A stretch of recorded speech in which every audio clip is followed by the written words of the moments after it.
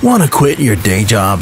Become a pro streamer. Want to become a pro streamer? Get your panels, overlays, banners, emotes, and more at the Fiverr Twitch store.